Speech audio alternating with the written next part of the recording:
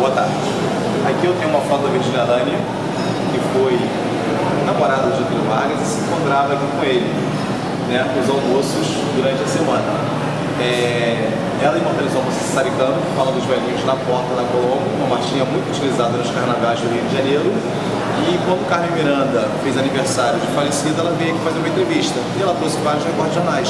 Foi uma das mulheres mais bonitas que eu já vi, teve no Rio de Janeiro. E, por sua vez, ela mostrou uma foto abraçada ao esposo, ao Getúlio Vargas, que fez uma singela brincadeira, no qual os dois eram cornos. É, aqui, Manuel de Lebrão, Joaquim Borges de Meirelles, que são os fundadores da Confeitaria Colombo. Tá? Esse aqui é o criador da frase, o cliente tem sempre razão.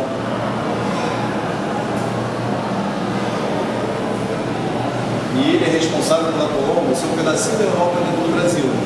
Aqui eu tenho piso português, eu tenho claraboia francesa, eu tenho mármore Carrara italiano e tenho espelho belga. Esses espelhos vieram em três viagens da Bélgica. A primeira em 1913, a última em 1909. Do Porto até aqui eram cinco dias de carros de boi, porque eles pesavam em média 500 kg cada um. Por favor. Aqui sou Orlando, patrimônio vivo da Colombo, já trabalha conosco há 61 anos, inclusive já foi entrevistado pelo Jô Soares.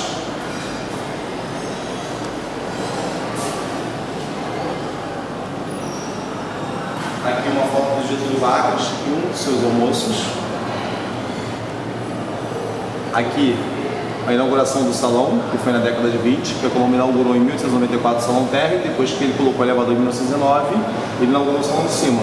E o antigo armazém que nós tínhamos, que a Colombo foi a primeira casa a entregar em domicílio em todo o Brasil. Em que ano? de cá, esse é da inauguração, de 1894. Aqui eu tenho a prataria utilizada durante décadas pela confeitaria Colombo.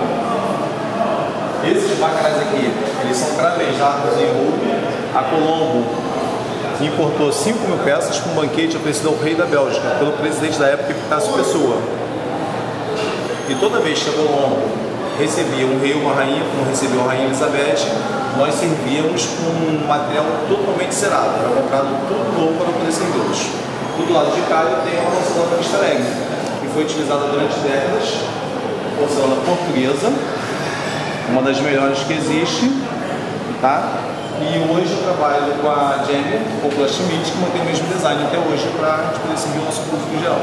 Boa tarde.